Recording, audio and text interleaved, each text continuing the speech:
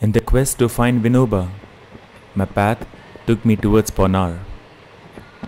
With few friends, we reached Brahma Vidya Mandir, a spiritual community where for last 50 years a group of women are doing collective spiritual practices. Like its name, it's truly a temple where one seeks the wisdom and experience of the absolute Brahma.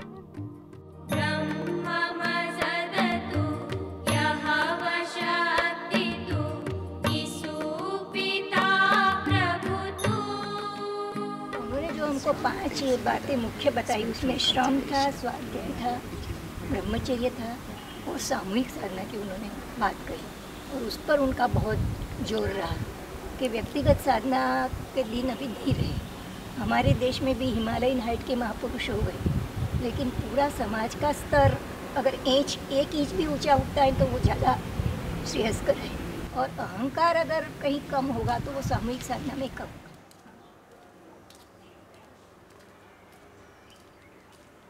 जहाँ खेती है वहाँ शांति है।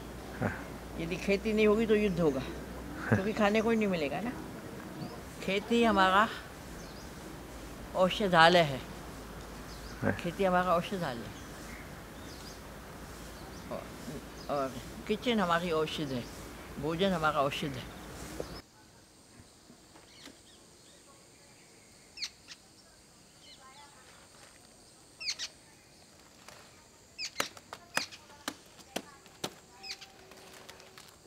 It is a spiritual laboratory वैसे बाहर जो काम कर रहे हैं ना that is extension that work is extension this is laboratory क्योंकि यही हम चाहते हैं कि अंदर का जो टैलेंट आदमी का पड़ा हुआ है in latent latent talent in the minds of people should get evolve they should get evolution so सब एक्टिविटीज़ कुछ काम हम करते चले जाएँ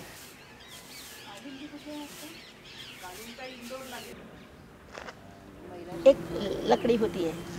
ये लकड़ी को करेंगे तो एक तुरंत टूट जाएगी। लेकिन एक साथ पाँच लकड़ी को तोड़ने जाए तो नहीं टूटी। तो पाँच लकड़ी में एक प्रकार की संगठन की एक समूह की शक्ति। वो तो जड़ है लकड़ी तो। लेकिन अगर चेतन पाँच इकट्ठे हो जाए इस प्रकार से तो उसमें जो शक्ति पैदा होती है, वो उसका भविष्य, उसका जो ये है, वो जीसस क्राइस्ट ने कहा था कि जहाँ मैं दो या तीन लोग अपर ईश्वर के नाम पर इकट्ठे होते हैं। वहाँ मैं वहाँ।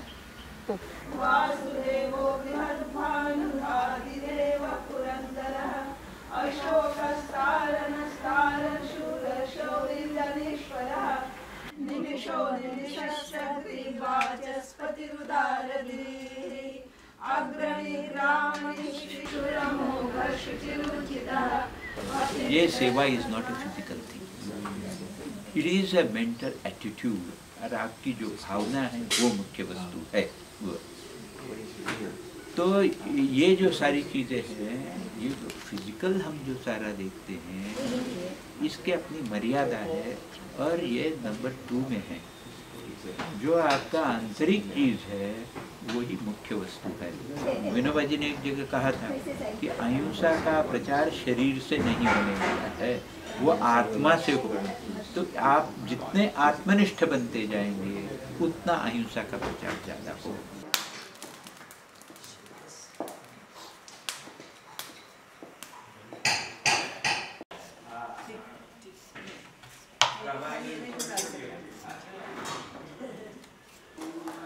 God is truth and God is love ये दो ईश्वर के मुख्य दो गुण बताए गए जाते हैं। सत्य जो है, ईश्वर का निर्गुण स्वरूप है। प्रेम जो है, वो ईश्वर का सगुण स्वरूप है। तो निर्गुण स्वरूप सब लोग पचा नहीं सकते एकदम। लेकिन प्रेम, यानी अहिंसा, यानी प्रेम है। तो अहिंसा के द्वारा हमको सत्य तक पहुँचना है। तो स्नेह साधन जो है, वो सब लोग समझ सके वो साधन है प्रेम। तो वो स्नेह के द्वारा हम सबके साथ जितने जितने जुड़ते जाएँगे तो वह स्नेह में हिंसा नहीं आती। जहाँ प्रेम हम करते एक दूसरे को, वहाँ कम से कम हिंसा होगी। सच्चा प्रेम, यानी अपेक्षित प्रेम नहीं।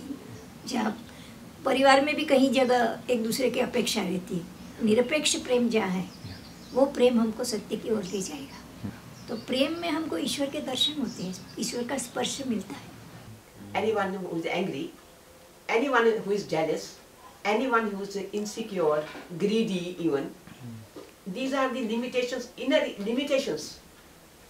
So we have to see the heart at the back what the person wants and have concern for the person and do something that the uh, this wounded heart is healed. Every heart is wounded. See everyone from that angle and try to heal the hearts of others all the time. At every step, go on healing the people.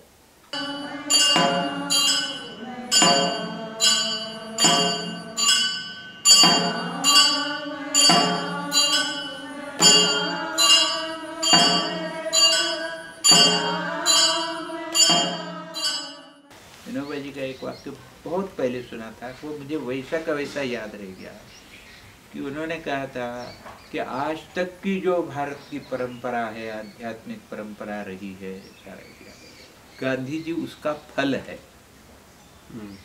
और नया समाज जो बनना है अभी सब है उसका गांधी जी बीज है।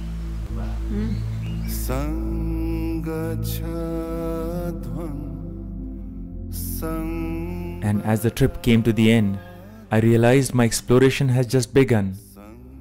Who was this saint who walked for more than 40,000 miles in 13 long years, from home to home, from a person to person? Looking deeply into their eyes, he would ask with immense love, Brother, won't you share what you have with others who don't? Although he collected millions of acres of land for the poor, all he really was trying to do was connect hearts. So, as the journey continues, we go further in the path of discovering the spirit that is present in all of us and which is always moved by love.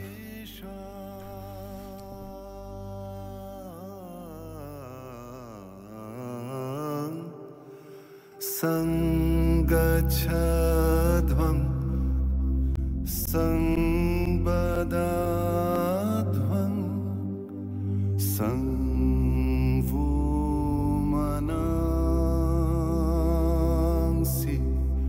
जानता।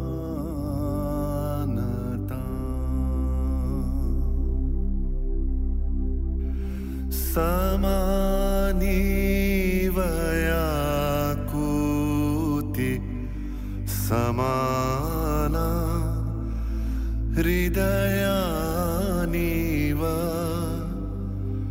समानीवयाकूति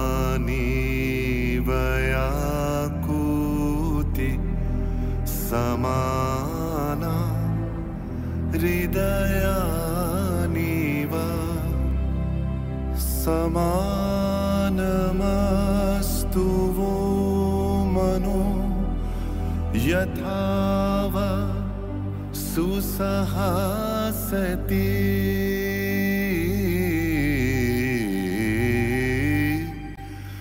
सङ्गच्छध्वं संवदध्वं